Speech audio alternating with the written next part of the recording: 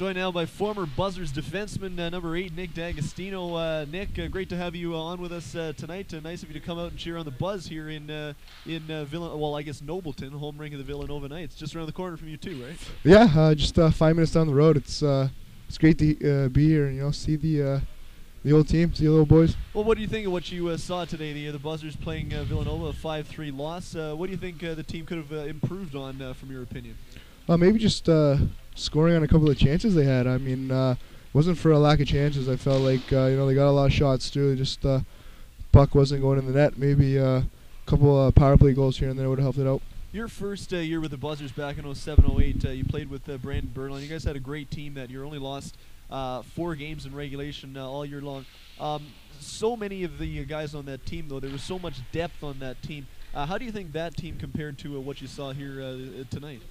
Um, that was that was a pretty talented team. I mean, uh, like you said, there were probably nine or ten guys from that team who are playing uh, NCAA uh, hockey right now. But um, you know, it's all the same. I mean, uh, we were still a team then that was, um, you know, we make mistakes along the way, and it's the same for these guys. I mean, the thing is, just can't get discouraged about it. They just got to keep playing hard. When you, and I guess you didn't deal with a lot of adversity that year, but uh, throughout your career, you uh, have had uh, points of adversity. How do you deal with that best uh, to remain positive uh, when you're going through a tough stretch? Uh, just keep working hard, uh, day in and day out. I mean, uh, my second year, same thing. We lost a lot of players after my first year, and uh, you know we faced a lot of adversity al- along the way. I know a couple losing streaks here and there, but it, you know, just uh, sticking to the basics, sticking to the fundamentals, and just you know working hard.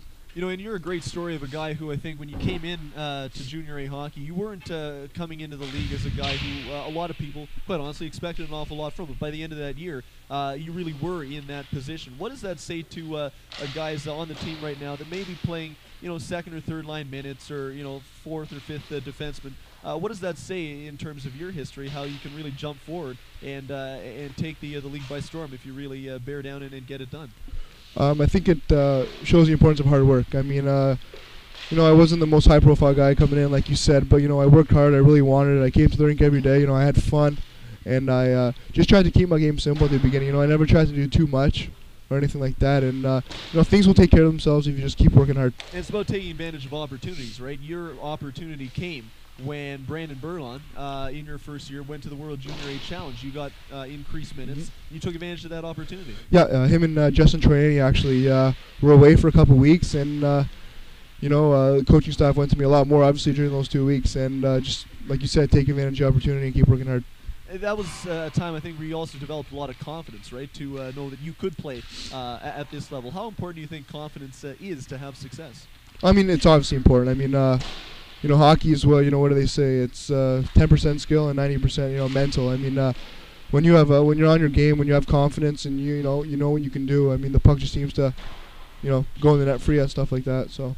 Well, it seemed like you had a lot of confidence going into uh, your first year with uh, Cornell a, a year ago. You had a tremendous uh, year in your freshman season. What was that experience like, uh, and what was it like to have that kind of success uh, so early on in your NCAA career? Well, it was great. I mean, uh, both from an individual standpoint and, and from a team perspective. You know, with getting an ECAC championship and you know getting named to the All Rookie team, it was just a great year from you know top to bottom. And obviously, you know, a, a bit of a step up coming from Junior A St. Mike's, but goes back to the same thing. I just kept working hard, kept listening to my coaches, and ended up being a great year. How did that make you a better player going so deep into a playoff run at a high level like the NCAA?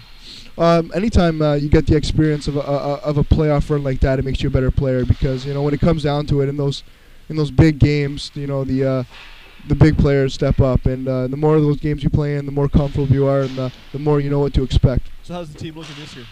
Uh, a little bit different than last year. We lost a pretty good senior class. We had a bunch of guys sign pro, so we're a pretty young team, but uh, we're still really early in our season. So we're hanging on 500 right now, but uh, you know we're, we're confident with what we have in the dressing room. You know if we uh, stick to playing Cornell hockey, we'll be fine for the, the last two thirds of the year. Well, you had a great uh, year in your first year last year, off to a great start again in uh, your sophomore season. And congratulations on your early success in the NCAA, and uh, nice of you to stop by and join us here uh, back in uh, Buzzerland, so to speak. Uh, it's uh, great to be here. Appreciate it, Dave. Thanks very much. No Nick. problem.